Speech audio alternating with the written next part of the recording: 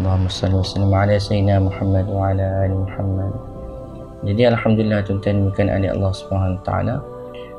Begitu juga ada orang yang tanya saya uh, berkaitan dengan apa beza faqih dengan muhaddis. Faqih dengan muhaddis ni jauh beza ni. Perumpamaan doktor dengan farmasi. Jadi kenapa dikatakan begitu? Bukan saya saya sendiri yang bercakap, bahkan ulama dahulu pun bercakap begini. Kenapa mereka ni fuqaha faqih ni dapat menggunakan hadis tadi. Lalu dia dapat mempermudahkan umat. Adapun muhaddis ni ahli hadis ni mereka hanya mempunyai gudang hadis. Apabila nak menerangkan bab hadis tadi mereka tak mampu. Mereka memerlukan kata-kata fuqaha untuk menerangkan makna hadis tadi. Ini kita boleh tengok jelas dalam seperti dalam kitab Tirmizi kan? Sunan Tirmizi. Imam Tirmizi rahimahullah taala bila membahaskan tentang sesuatu hadis maka dia akan bawa kata-kata fuqaha wa bihi yaqulu syafi'i wa bihi yaqulu ahmad wa bihi yaqulu malik wa bihi yaqulu ahli kufah dan sebagainya. Banyak wa bihi yaqulu ishaq dan sebagainya. Ini kata-kata ni banyak dalam kitab Sunan Tirmizi. Walaupun Imam Tirmizi ni seorang muhaddis ahli hadis padanya ada gudang ilmu yang sangat besar. Tapi masih lagi dia menyerahkan ketidakmahiran dia berkaitan dengan ma'anil hadis kepada fuqaha. Dan begitu juga bila kita lihat sahabat radhiyallahu anhum ajma'in bukan ramai di kalangan mereka yang fuqaha. Antara yang kita dengar sebagaimana disebutkan oleh Ibn Qayyim dalam I'lamul Muqin tuan-tuan boleh tengok dalam itu disebutkan banyak yang tersebar fahaman tentang syariat agama kita ilm kita. Daripada Abdullah bin Abbas daripada Abdullah bin Umar daripada Zaid bin Thabit daripada Abdullah bin Mas'ud. Banyak daripada anak-anak murid ni yang banyak menerangkan makna hadis. Lalu terciptanya fiqah. Dan bila kita lihat mazhab Hanafi banyak bersumberkan daripada Abdullah bin Mas'ud.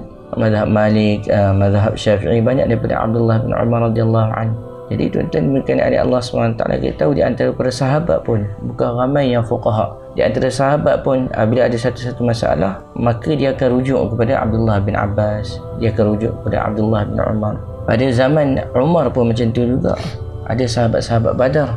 Tapi ha, Sayyidina Umar radhiyallahu masukkan Abdullah bin Abbas eh, dalam majlis ni. Sehingga sahabat badar tengok bila dia lihat kenapa masukkan orang kecil ni jadi Sayyidina Umar kata padanya ada. Ilmu yang kita tak ada. Jadi kewibawaan ni ada. Ini dipanggil faqih. Tambah lagi Rasulullah ada doa ke Allah ma'alimhu ta'wil ha, sedangkan bila tengok sahabat semua dengar hadis daripada Nabi sallallahu alaihi wasallam. Begitu juga peristiwa yang tuan-tuan mungkin pernah dengar peristiwa seorang ulama yang hebat dengan uh, seorang muhaddis dengan faqih. Iaitu terjadi ketika seorang ni uh, seorang wanita dia nak minta fatwa berlaku pada satu kampung iaitu wanita, kematian seorang wanita. Dan kebetulan pada waktu satu kampung tu semuanya uzur.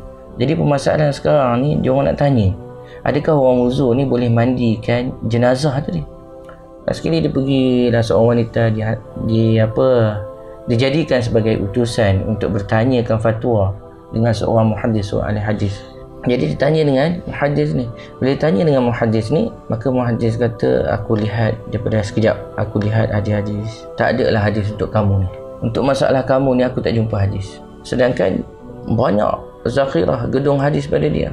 Tapi dalam masa yang sama dia syurkan. Dia kata macam ni lah. Aku syurkan uh, kamu pergi jumpa dengan seorang lagi alim cuba tanya dia masalah dekat dia. Jadi wanita pun pergi dia pergi ke mana? Dia pergi dia bagi tahu orang ni nama Abu Thawr.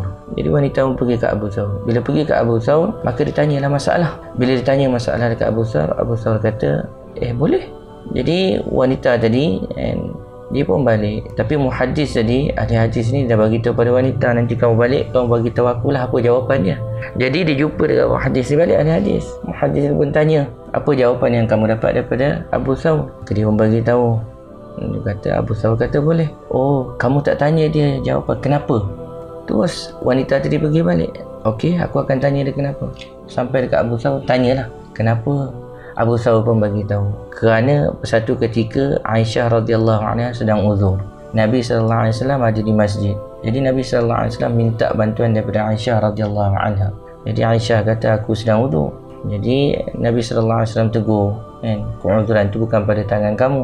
Jadi bila kita lihat dekat sini Abu Thawr berdalilkan dengan hadis ini. Bahawasanya seorang wanita boleh membantu orang. Tambah lagi uh, Nabi SAW ketika itu dikatakan sedang beriktikaf. Jadi tuan-tuan dimulakan oleh Allah SWT baliklah wanita ni tadi pergilah jumpa ahli hadis. Bila jumpa ni ahli hadis kan dia bagi tahu ah aku dah dapat jawapan daripada Abu Thawr. Apa dia? Iaitu hadis berkaitan dengan Aisyah. Uh, Nabi SAW minta khidmat Aisyah waktu ketika Nabi sallallahu alaihi wasallam intikah di masjid jadi jawapan Aisyah kata aku sedang berwuduk tapi Nabi kata keuzuran bukan pada tangan kamu jadi hadis ni yang dibagi tahu sebabnya Oh hadis tu. Maka seorang ahli hadis ni Dia pun mulalah bacakan hadis dia. Oh wabihi qala haddathana qala haddathana qala haddathana. Perempuan tu kata Aku tak nak dengar lah Haddathana haddathana kamu ni. Aku dah dapat dah ni.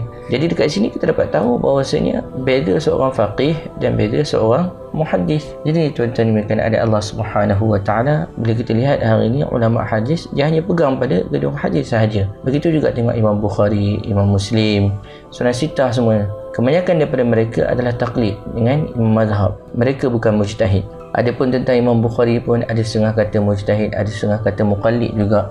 Maksudnya ada ikhtilaf di situ. Maksudnya Walau bagaimanapun bila kita baca kitab Bukhari pun kitab Bukhari dia tak mensyarahkan dengan sendiri juga. Banyak dia ambil daripada kata qala al-Hasan qala al-Humaidi ni antara tok-tok guru dia qala Sufyan dan sebagainya. Tahu bahawasanya mereka ni eh, masih lagi menganggap diri mereka ni tidak hebat mana. Mereka masih lagi rujuk dengan fuqaha untuk selesaikan makna-makna hadis. Apa yang sedih, apa yang menyedihkannya pada zaman kita sekarang ni iaitu ada sebahagian-sebahagian yang mengaku dia ni pakar hadis. Tapi sebenarnya mereka tidak faham dengan makna hadis tersebut. Dan dengan sebabkan gelaran pakar hadis tadi mereka telah mengambil kesempatan untuk membuat satu hukum pada hadis-hadis kemudian mengeluarkan fatwa sana sini. Last sekali bila kita lihat fatwa yang keluar tadi adalah khilaf kan, dengan fuqaha-fuqaha yang terdahulu. Jadi seolah-olah mereka ini pula mengatakan mereka lagi hebat daripada orang terdahulu. Apatah lagi kalau mereka menggunakan sandaran dengan kata salaf sedangkan ulama-ulama yang mereka kecam tadi kebanyakannya daripada ulama salaf. Apatah lagi daripada empat mazhab tadi mereka adalah salafus salih. Jadi sebab itu tuan-tuan bukan ada Allah SWT kita kena berhati-hati dengan zaman sekarang. Terutama sekali dengan kita yang menganggap bahawa ilmu kita ni lebih hebat daripada ilmu terdahulu. Itulah kan? Antara tanda kiamat orang yang duduk di akhir zaman ni akan mula mencela kan, orang-orang yang terdahulu. Mudah-mudahan Allah SWT selamatkan kita kan, daripada perangai sebegini insyaAllah